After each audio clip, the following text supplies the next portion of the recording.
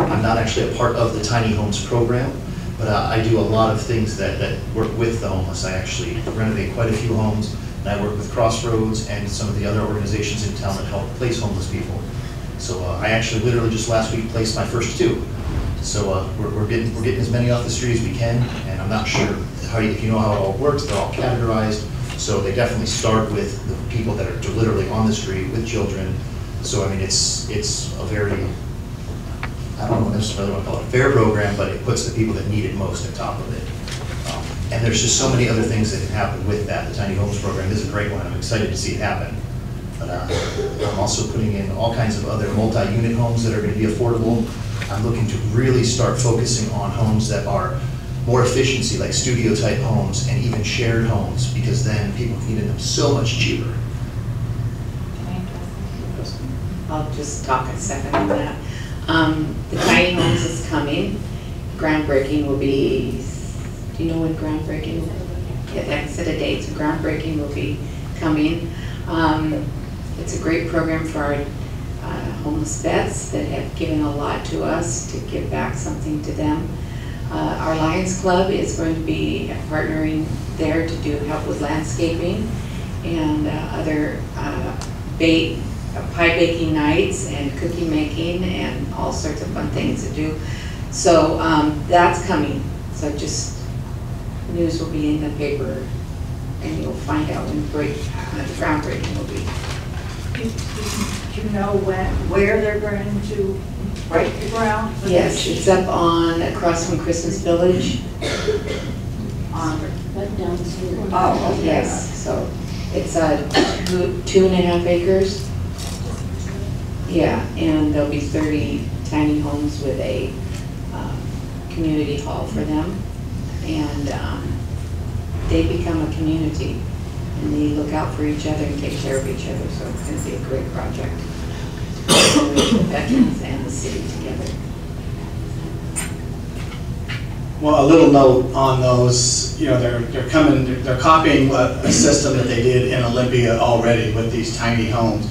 And it is a veterans kind of transitional housing project, so it's going to be with Mason County veterans, and if I believe, if those aren't filled, then there'll be other veterans from surrounding communities that will be brought in. I know that there's been some concerns, if you've gone to the city council meetings and looked at some of the different things in the paper about, well, what's that gonna do to the people walking by? What's the criterion which they're going to use? Do they have to be clean and sober? Do they not?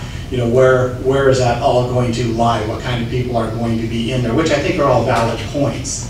Uh, I would hope that, uh, that it's a, it's a monitored situation as well as being self-governed.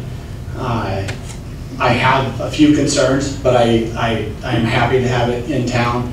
I know that I worked on a project on Seventh Street that was a veterans transitional type of housing, and it literally took eleven months before somebody was actually even had their first tenant in there. So I'm hoping that we don't run into that situation with this. So that's just one of my concerns. Um, I'm gonna be really honest with you, I'm cautiously optimistic about the tiny veteran small houses program. Um, we have enough homeless people here, and I'm a little concerned about bringing more in. I understand they're gonna be veterans and that sort of thing, if there's a strong vetting process, then I'm completely for it.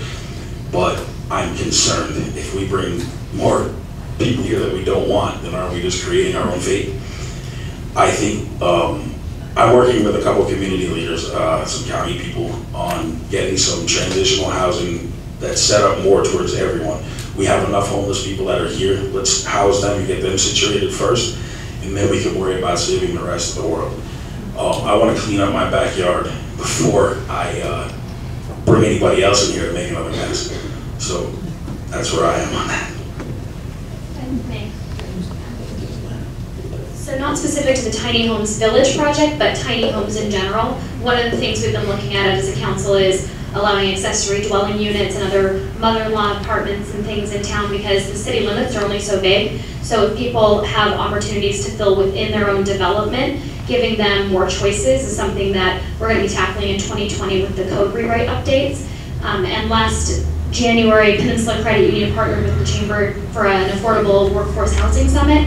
And one of the things that um, came out of that, and also the Association of Washington Cities, were examples of other communities throughout the Olympic Peninsula who have implemented programs to allow people to build smaller footprints. And by their doing, they're allowing more people to live within the city limits and have access to those services. Because as the only incorporated city within the entire county, most services are located here, which provides some great opportunities, some, but also some unique challenges. So that's one of the things that we'll be looking at in 2020.